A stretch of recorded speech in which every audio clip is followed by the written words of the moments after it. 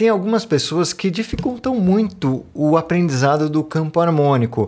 Pegam manias aí de ficar procurando tabelas e escrever o campo harmônico é, já direto em cifras, que tudo isso pode atrasar o seu desenvolvimento no entendimento de uma matéria que nem é tão complicada assim para tocar violão ou outros instrumentos. Nessa aula daqui, vamos ver como é que você pode utilizar uma caneta comum e um pedaço de papel para você aprender aprender de forma correta e simples o campo harmônico.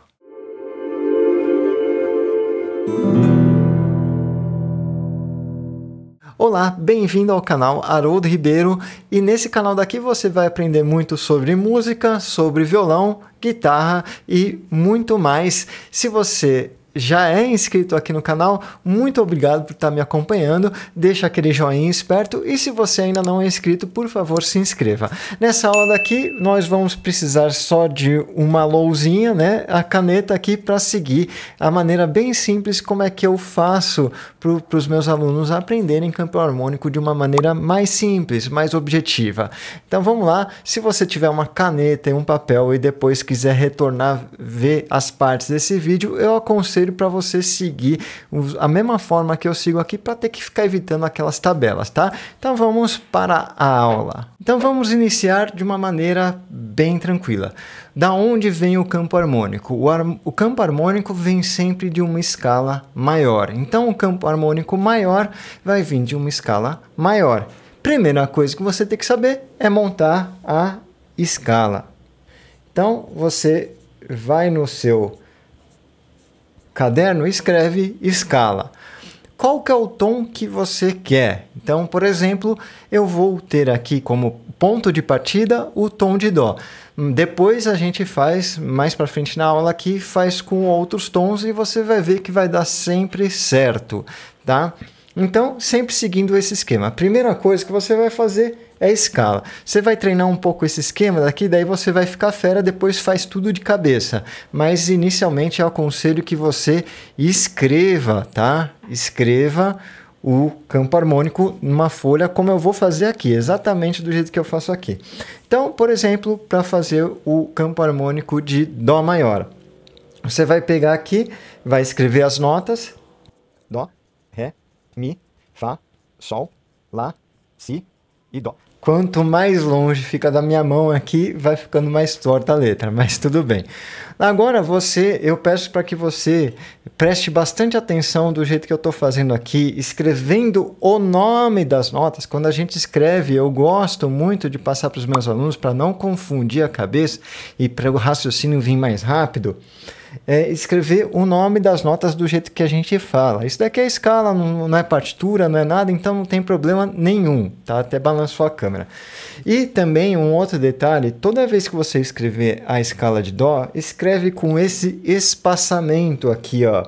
Do Dó para o Ré tem um espaço, do Ré para o Mi tem um espaço, do Mi para o Fá não tem espaço do Fá para o Sol tem espaço com esse espaçamento. Sol para o Lá tem espaço, Lá para o Si tem espaço, Si para o Dó tem, não tem espaço. Então, quais que não tem espaço aqui?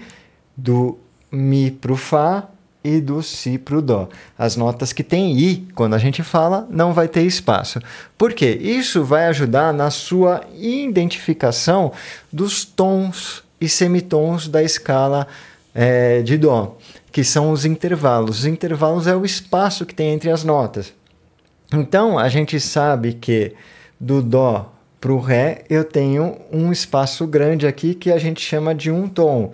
Do Ré para o Mi, outro tom. Eu gosto de fazer esse colchetinho aqui quadrado para um tom e o Vzinho aqui, o colchetinho V, é em meio tom. Então a gente vai ter essa configuração de tons e semitons.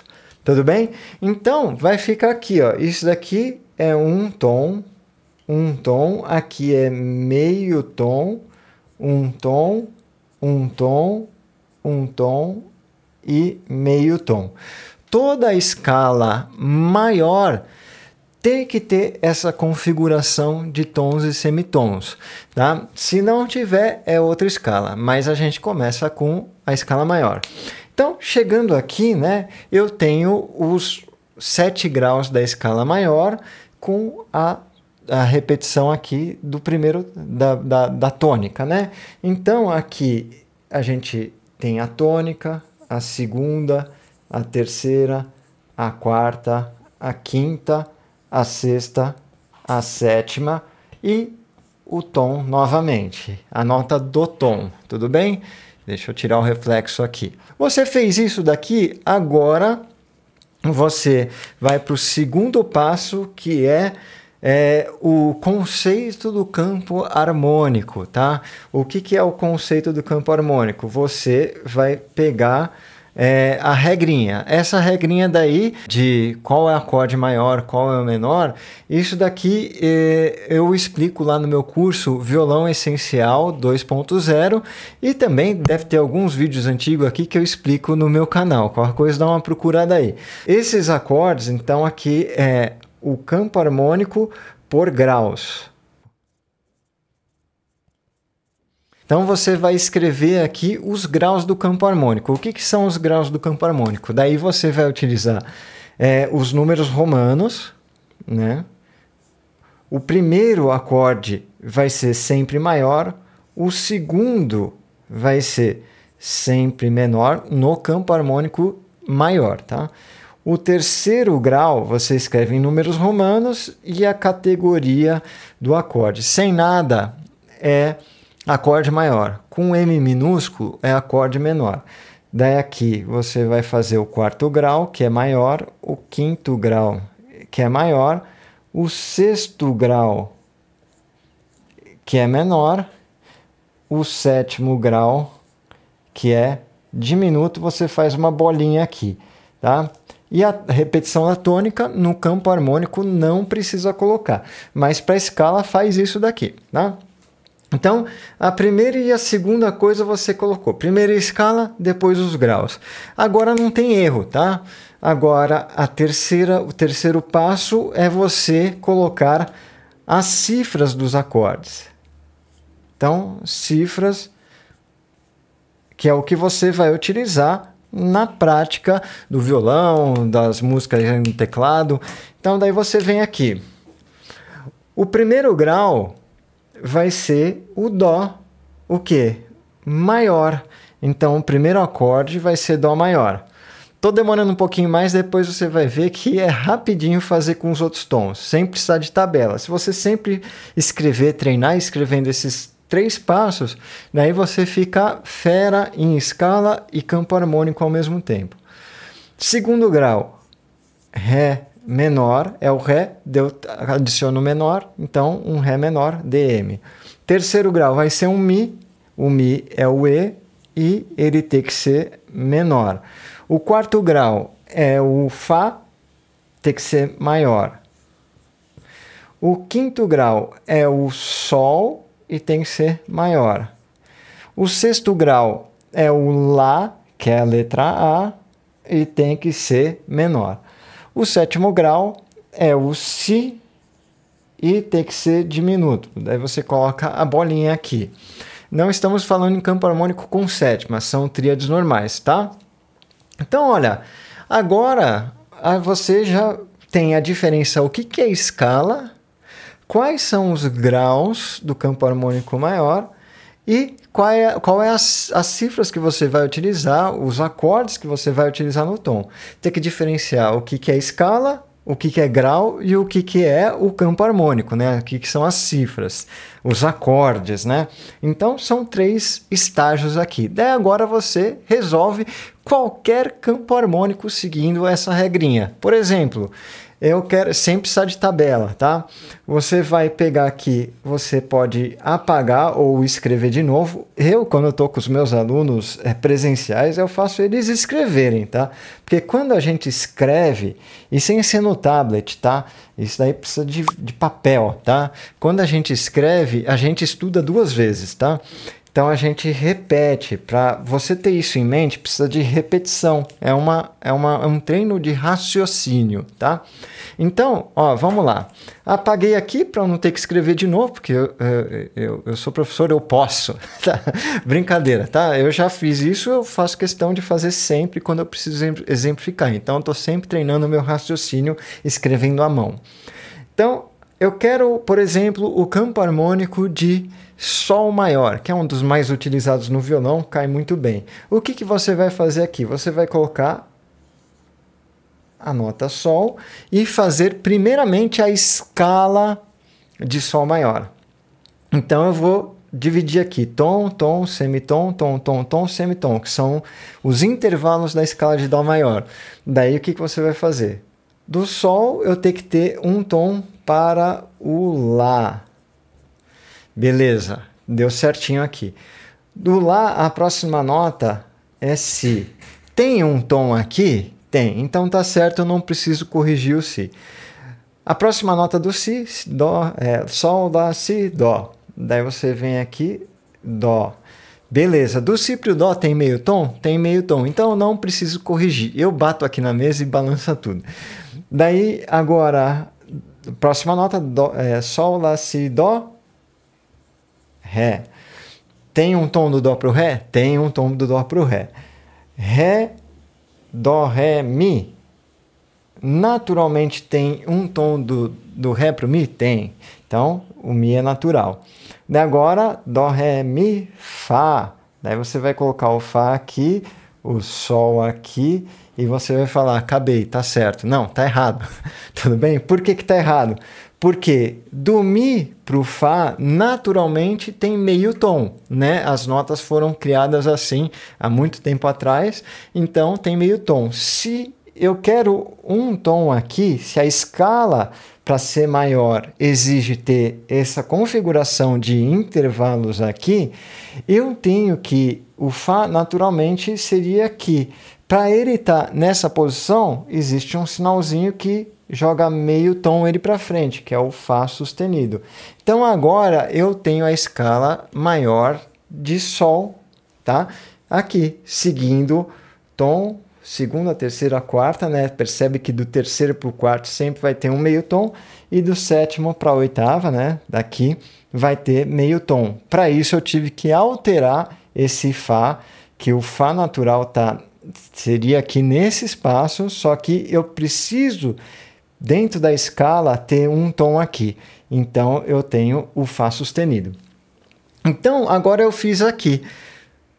Faço os graus para memorizar: primeiro maior, segundo menor, terceiro menor, quarto maior, quinto maior, terceiro, é, sexto menor e sétimo diminuto. E agora eu vou traduzindo isso daqui, as notas da escala para acordes. O Sol é G maior, para seguir aqui.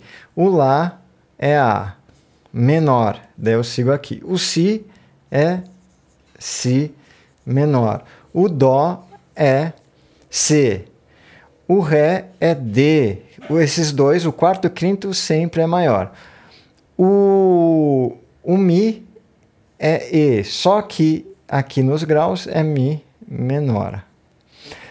O sétimo é o Fá, que é o F sustenido diminuto com a bolinha aqui. Pronto, campo harmônico de Sol maior, tá? É, isso daqui você pode fazer com todos os campos, com todas as escalas, as 12, as 12 escalas. Só precisa prestar atenção nessas correções de sustenido e bemóis. Tudo bem? Agora eu vou fazer uma aqui para quebrar a cabeça de vocês, mas não, para não precisar mais de tabelinha, tá? Então, ó, aqui, vamos lá, apagando.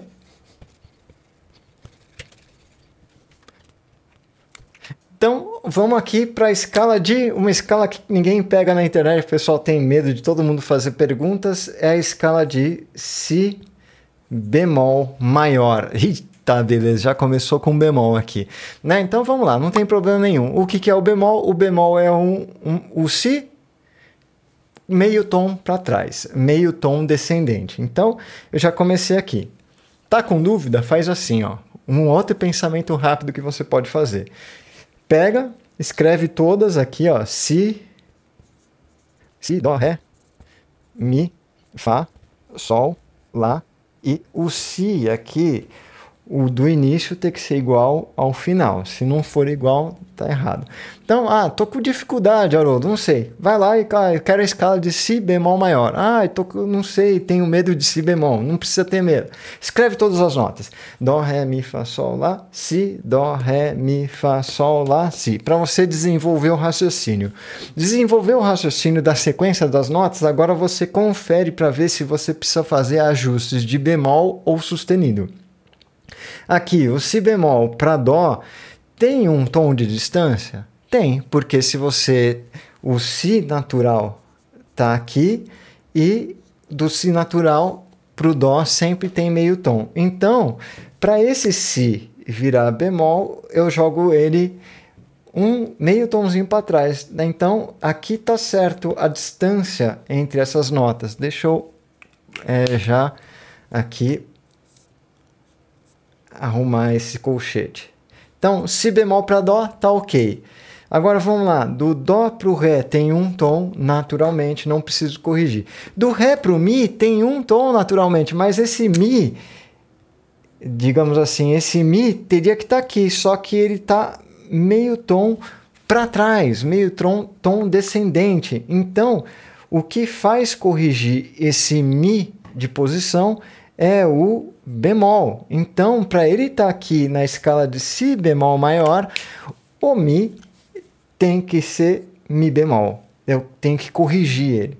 Daí do mi bemol para o fá tem um tom, porque é aquela mesma história. O mi natural estaria aqui e aqui seria meio tom para fá. E o, o mi natural, né? E o mi bemol, quando eu trago ele para trás, ele fica maiorzão aqui, vira um tom, tá?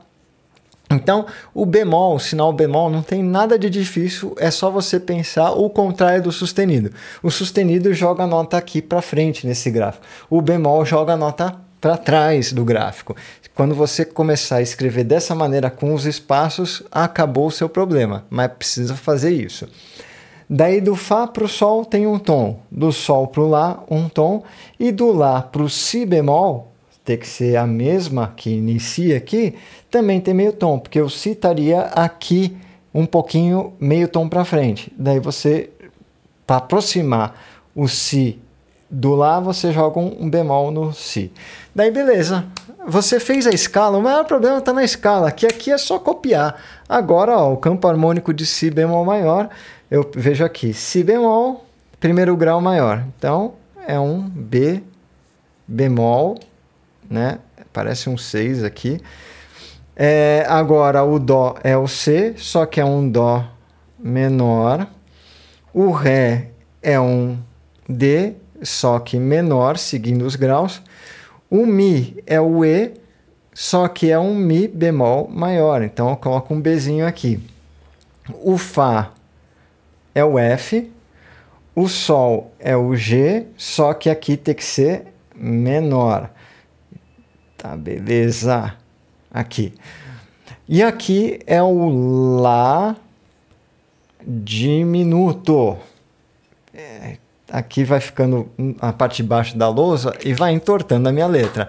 Então, é isso daqui que ficou. É muito fácil. Se você pegar qualquer nota e colocar aqui, segue esse esquema e você transforma os graus em acordes.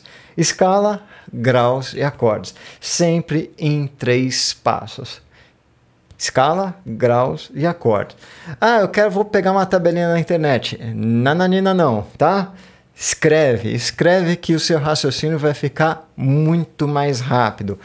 Transforme em três passos simples que você resolve todos os seus problemas com o campo harmônico. Depois é só se virar no instrumento.